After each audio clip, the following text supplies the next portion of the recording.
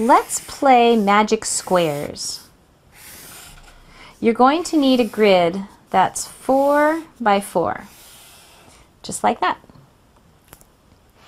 Now we're going to put the numbers 1 through 16 on this grid such that when you add up the diagonals, they always add up to the number 34.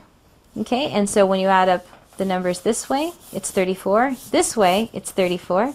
This way, it's 34. And when you add each corner, it's also 34.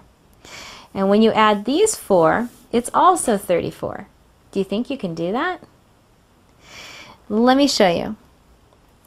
There are actually 86 ways of picking four numbers that add up to 34. And the magic square I'm going to show you here, this was the first magic square to be published in Europe in the year 1514. And you can actually find 1514 buried in this magic square. So what does that mean? That means every time you add this diagonal, it's 34. This diagonal, it's 34. Each one of the corners adds to 34. The one in the middle adds to 34. Each row adds to 34, and each column adds to 34. So how is this a game? Well, once you have this, you can block out certain numbers and see if you can figure out what those would have to be in order to make this true. Now to make your own square, you do this. 1, 2, 3, 4, 5, 6, 7, 8, 9. Okay? Then you swap the corners. You put the 3 here and the 7. You put the 1 here and the 9. Okay? And then you kind of squish it. So what that means is, so if this is the square before we squished it, okay, what that means is, is you're going to write the 2, then you're going to write, so you write the 2 first, then you write the 9, 7 below it, and then below that you're going to write 4, 5, 6, and then below that the 3 and the 1, and then the 8. And then you take this and you write 2, 7, 6, and then you write this one, which is 9, 5, 1, and you write the next one, which is 4, 3, 8. And that is your magic square. And if you look, sure enough, every direction and the diagonals all equal the magic sum of 15.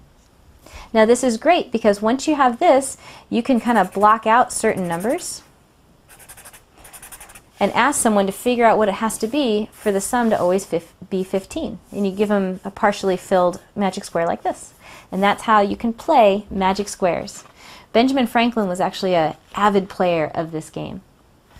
Let me show you an upside down square. Okay, so this is going to be a 4 by 4. So, okay, we're going to draw 16 squares. Okay.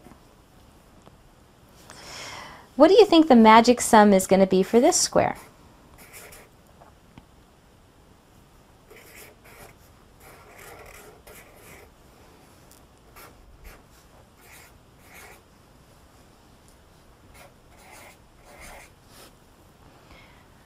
So you may be thinking, what's so upside down about this square?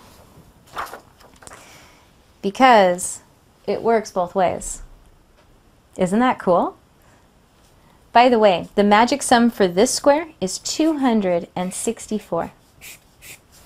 Go ahead and give that a try.